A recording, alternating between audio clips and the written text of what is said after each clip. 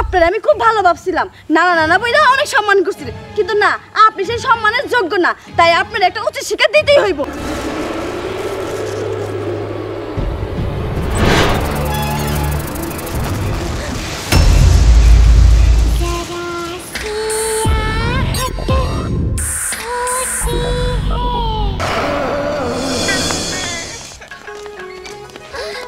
বাড়িতে যাব না বাবা বাড়িতে কি জন্য যাবি না সেটা তো বলবি। আরে তুমি বুঝবা না বাড়িতে একটা সমস্যা আছে আমি যাব না। বাড়িতে সমস্যা আছে? নাকি সমস্যা তোর মনে? দিন দিন দুষ্ট হইতেছস। এই আজকে বলতে হব যে বাড়িতে কি সমস্যা আছে? বল তোর সমস্যাকে দূর করে নেই বাবা আমি কইবার পারব না। আমার অনেক ভয় করে। তুমি আমার মাফ করে দাও। কি? বাড়িতে যাইতে ভয় পাস মানে? এই বাড়ি থেকে বাঘ আছে না ভাল্লুক আছে যে তুই ভয় পাস? তার থেকে বড়টা। তার থেকে বড়টা মানে? কেন? মা। ও তোর মা? তোর মা অবশ্য বাঘ ভাল্লুকের থেকে কম না। আমিও ডরাই। কিন্তু তুই ডরাস কেন? তুই তো তার মেয়ে। আরে ওই ভয় না। আর একটা ভয় আছে। কি ভয় আছে? খুলে কত। আসলে কি? মা না আর কি মাঝে মধ্যে কলা গাছের থেকে বড় হয়ে যায়। জানো? কীরকম জানি অদ্ভুত অদ্ভুত। মানে ব্যবহার করে। কি- কি বলতেছস তুই? কিসের অদ্ভুত অদ্ভুত ব্যবহার করে? বিশ্বাস করো বাবা এসব কথা বাদ দাও আমি বাড়িতে যাব না। শোন দুষ্টামি অনেক হইতে আর সহ্য করতে পারব না। চল বাড়িতে চল। না বাবা আমি যাব না। মজা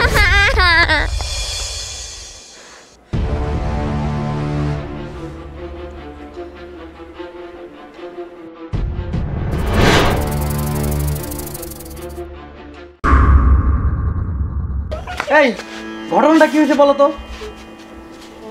কি ব্যাপার ঘটনা কিসের ঘটনা তুমি কোন ধান্দায় রইছো হ্যাঁ আমি যে তোমার ডাকতেছি তুমি শোনো না আরে যে মাইয়া মাইয়া বাড়িতে আসতে চায় না কেন সারাদিন বাইরে বাইরে ঘুরে ঘটনা কি মানে তুমি এইসব কি বলতে বল বলতেছো মেয়ে বাড়িতে থাকতে যাব না কেন এই রিয়া কি হয়েছে তোর তোর বাবা এগুলো কি কইতাছে মা আমি কিন্তু সব দেখছি কি দেখছস তো- তো- তো- তোমার বেরোয় দেখ রিয়া ফাইজলামের একটা লিমিট থাকা দরকার।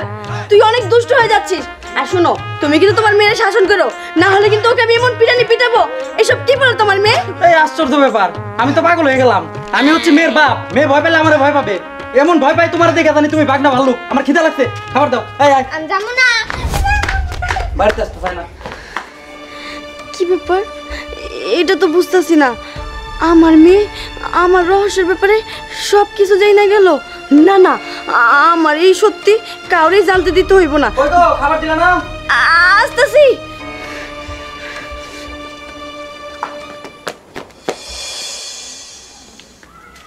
তোরে কত করে খোঁজ ভালো হয়ে যা ভালো হয়ে যা। তোর নামে বিচার আছে এত বিচার কি ভালো লাগে? ভালো হ। কি যে কও না দাদা তোমার কাছে আবার বিচার দেয় কেরা? আরে ছোট ছোট গো গুরস বড় বড় বেটি গো গুরস ছোট বড় মানুষ না? ইত্রুকে পোলা হান বড় বড় বেটি লোকে যায় হ্যাঁ। ঘুষ খেলিবেন নিগে হ খালি আমি করি তুমিও তো কোন এই এই এই এই কি করলি তুই রে? হ্যাঁ মুখ সামনে কথা কবি। কো আমি কি কইছি? শুন বড় মানুষের কথা কইতে গেলে ওজন রেখে কর নাকি। তোর মুখে থেকে ওজন ছাড়া কথা বাইর হয়। হ্যাঁ উচিত কথা কইলে মা হইবে যা এই তুই কি যাবি থেকে? তা তোর বাড়ি দিব আমি। কোন জায়গা এই পোলাটা আমার সম্পর্কে কেমনি এমনি এই কথাটা কইল? নিশ্চয়ই বুঝে হালাইছি। আমি যে ওই ব্যক্তি যাই আহি, আর কয়দিন ধরে তো একটা ভালো জিনিস পাইতেছি না। মনটা খালি উথাল পাতাল করে। এত উথাল পাতাল ভালো লাগে? বয়স হয়ে আইছে। বাড়ি বাড়ি ঘুরতেও কি ভালো লাগে? একটু ভালো লাগে না। ঠিক আছে, যাই দেখি খবরটা নিয়ে দেখি।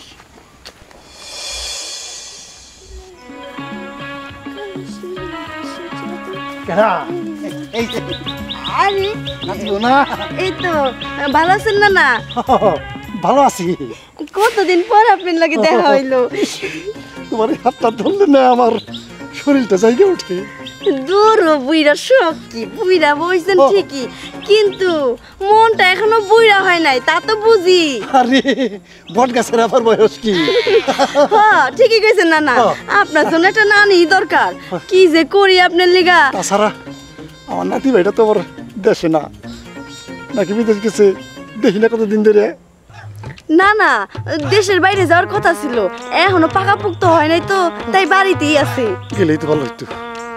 তাহলে নাও আমাকে বাড়িতে যাই। না না কি যে কর না না দূর। তোমার নানি বাড়িতে নাই। নাও যাই। না না না। আর দূর। আরে এখন আমার সময় নাই আমার বাড়ি দিকে যাই তুইব আর সময় একটু বানাইলে কি হইব? না না দেখেন হাত ছেড়া দেন। আমি হাসা হাসা কইতেছি কিন্তু। আরে না না এরকম দুষ্টামি করতেছে কেন? মানুষ দেখলে আশেপাশে কি কইব? কই কি কো কোনো মানুষ নাই? আরে না, না। কোনো মানুষ নাই? বুঝতে পারছি। এতক্ষণ ধরে তো আমি ভাবছিলাম আপনি আমার সাথে ইয়ার কি করতেছেন। কিন্তু না হ্যাঁ, আপনি তো আসলেই ক্যারেক্টার লুজ একটা লুক। ছেড়েন আপনার আমি খুব ভালো ভাবছিলাম না না না না বইরা অনেক সম্মান করছিলেন কিন্তু না আপনি সেই সম্মানের যোগ্য না তাই আপনার একটা উচিত শিক্ষা দিতেই হইব এইটা কি কও আমার কোনো হানে গাও পাশা নাই আমি সম্পূর্ণ ভালো মানুষ ভালো মানুষ হ্যাঁ। আর একটু ভালো করে দেই হ্যাঁ এটা কি করতেছো এই এই ছেড়ে দাও ছেড়ে দাও, ছেড়ে দাও এটা কি দেখো তোমার হাই হাই এটা আমি কি দেখলাম আমার জীবনে যা দেখি নাই এই জিনিস আজকে দেখলাম মানুষের মানুষের দ্বারা এটা সম্ভব কি করে সম্ভব হয় সম্ভব? আর অনেক কিছু সম্ভব। দেখাবো না না না না না না আর না। ওরে বাবা আরে দাঁড়াও দাঁড়াও বুইরা এখন ভাগতেছো কি লিগা? আমার এটা তোমার বাইতে নিয়ে যাইবা? এর লিগাই কয় বুইরা মানুষ? থেক আর কইলাম না।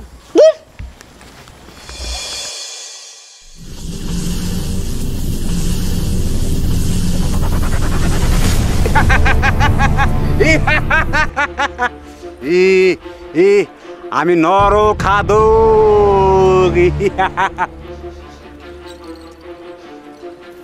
আমি মানুষের গন্ধ পেলে আমার সহ্য হয় না। এদিকে মানুষ আছে।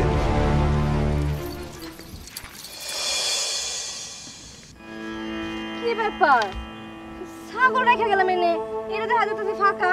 ছাগল গেল কই? না, আমি একটু খুঁজতে যাই দেখি।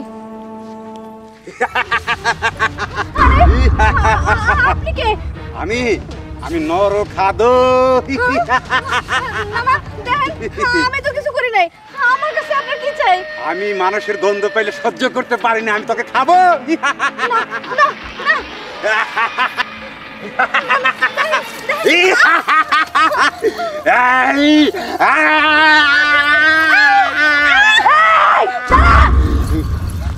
তুই এখানে? তুই এখানে কিসের জন্য এসেছিস? যা হে চলে যা। আমার খুব খিদে পেয়েছে। যা বলছি তুই চলে যা। দেখ নরখাদক তুই এখান থেকে চলে যা। তোকে আমি ভালো ভালোই বলছি। না হলে কিন্তু এর পরিণতি অনেক খারাপ হয়ে যাবে। দেখ তুই আমার খাবার ছেড়ে দে। নাহলে আমি তোরে খেয়ে ফেলব কিন্তু। কি? তুই আমাকে খেয়ে ফেলবি? এত বড় সাহস তোর। তাহলে আয় দেখি আজকে কে কাকে খায়। তোকে আমি এমন সাহায্য করতেছি যাতে তুই আর কোনোদিন মানুষকে খাওয়ার সাহসই না পাস।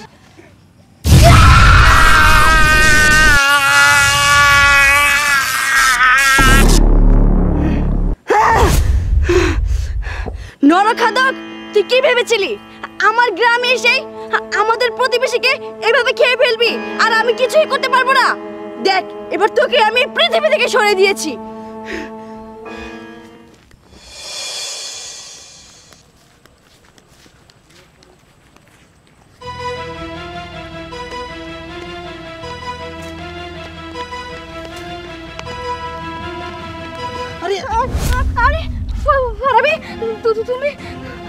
কি হয়েছে? এরকম হাবাইতেছো কেন? আর বলো না আমি একটু আগে এক নরখাদকের খপ্পরে পড়ছিলাম। কোন রকম নিজের জান নিয়ে ফিরে পালাই থেকে কি? নর খাদক এই তোমরা কি আমার সাথে গল্প শুরু করছ নাকি? তুমি এক গল্প শোনাও আমার মাইয়া আরেক গল্প শোনায় হ্যাঁ? রূপকথার গল্প ফেরি টেল শুরু করছ তোমরা। না গো আমি সত্যি কথা কইতাছি সত্যি কোন রকম নিজের জান নিয়ে বাইচা ফিরেছি কিন্তু কিন্তু হারাবি তুমি তাড়াতাড়ি যাও তোমার বউ তোমার বউরে না লই নরক নরখাদক খেয়ে লাইবো। আমার বউরে নর খাদক খাই ফেলাবো? আরে খাইলে খাই গিয়া। বউ গেলে বউ পাওয়া যাব। তুমি গেলে তোমার পামু কেন? দেখো এখন আর কি করার সময় নাই।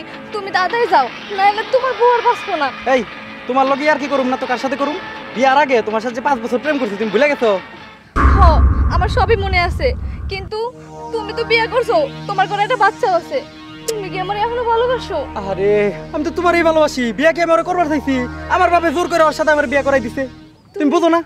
তুমি সত্যি কইতাছো? আমি- আমি তো বিশ্বাস হইতাছে না। দেখো আমি এতদিন ভাবছি তুমি আমারে ভালোবাসো না? কিন্তু আজকে দেখলাম আসলে তুমি আমার এখনও ভালোবাসো। বাসি এই শোনো তুমি কি আমার বিয়ে করবা? দ্বিতীয় কেন বিবাহ দ্বিতীয় বিবাহ করব তোমাকে আমি। দেখো দ্বিতীয় তৃতীয় বুঝি না। আমি তো তোমার ভালোবাসি আমার কোনো সমস্যা নাই। ও তার মানে এই কথা। দাঁড়াও আমি আমার মার কাছে যাইয়া তাড়াতাড়ি কইতাছি।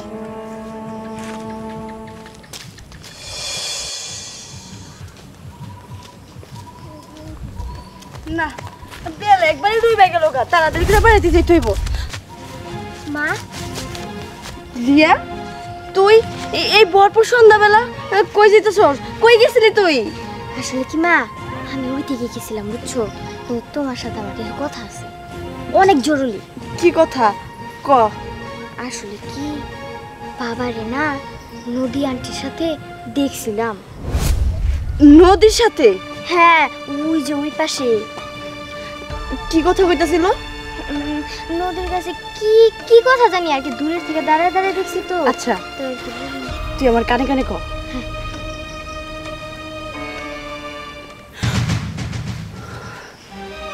আচ্ছা তুই এক কাজ কর। তুই এখন বাড়িতে যা আমি আসতেছি। না মা আমি বাড়িতে যাব না আমি তোমার সাথেই যাব। চলো। দেখ প্রিয়া অনেক সন্ধ্যা হয়ে গেছে। ভরপুর সন্ধ্যা। তুই বাচ্চা মেয়ে এই সন্ধ্যাবেলা বাইরে থাকতে হয় না। যা যা। যা! যাইতে বলছি রিয়া।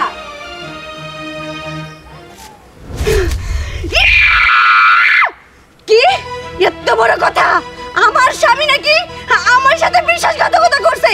না, এটা তো আমি কিছুতেই মেনে নিব না। আস্তে আমি। তোদের দুজনকে আমি সাহায্য করে ছাড়বো।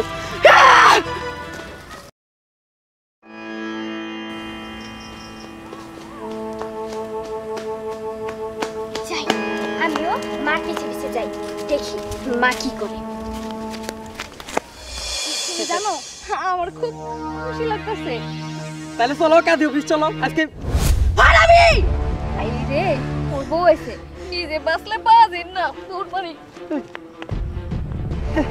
ছি ফারাবি ছি। তুমি? তুমি এটা কি করে করতে পারলা? আমি তো কিছু করি নাই। এই মহিলা আমার সাথে এসে কথা চুপ থাকো তুমি আর একটা কথা বলব না। তুমি একটা বিশ্বাসঘাতক বেঈমান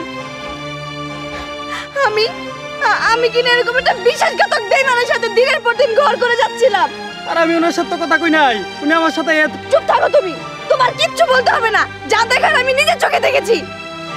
তুমি তুমি কেমনে করে এমনটা করলা? আমি তোমার সাথে এত বছর ধরে সংসার করছি আমাদের একটা মেয়ে আছে। তুমি কি সেই কথাটা ভুলে গেছো? আমি কিছু করি নাই শোনো।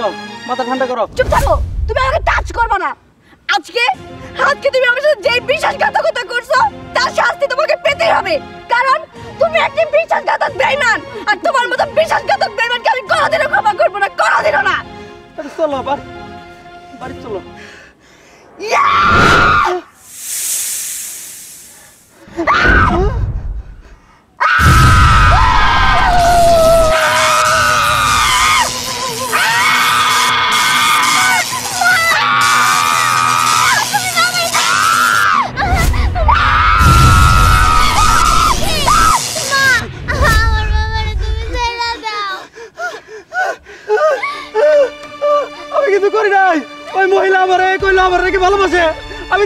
আমার বউ আছে আমার বাচ্চা আছে আমার কোনো দোষ নাই।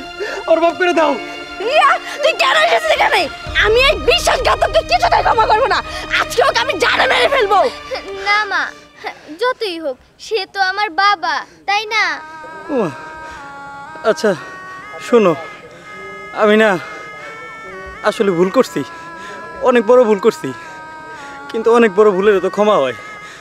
আমি তোমার কাছে দুই হাত জোর করে ক্ষমা চাইতেছি। তুমি আমার এইবারের মতো ক্ষমা করে দাও। আর জীবনে কোনদিন আমি এরকম করুম না। এখন? এখন কেন ক্ষমা চাইতেছো? একটু আগেই তো আমার মৃত্যুর কামনা করতেছিলা তুমি। মা দেও না। বাবারে ক্ষমা কইরা প্লিজ ঠিক আছে। তুমি একটা কথা শুনে রাখো। আজকে শুধু আমার এই মেয়ের কারণে তোমার আমি ক্ষমা করে দিলাম। নয়তো আমার হাত থেকে তোমার কেউ বাঁচাতে পারতো না আজকে। আর কোনোদিন আমি এরকম করব না। আমার আমার মেয়েরে আমার মেয়ের মাথা ফেয়ে করলাম আমি আর কোনদিন এরকম করুম না। তুমি আর রাগ করো না। আচ্ছা ঠিক আছে। যা হয়েছে আজকে পর থেকে আমরা এখানেই ভুলে যাব। চলো আমরা বাড়ি ফিরে যাই। বাড়িতে চল চলো মা বাবা। বাড়িতে চল।